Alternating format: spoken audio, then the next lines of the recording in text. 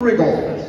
WGI Sport of the Arts is proud to present Hilliard Darby High School.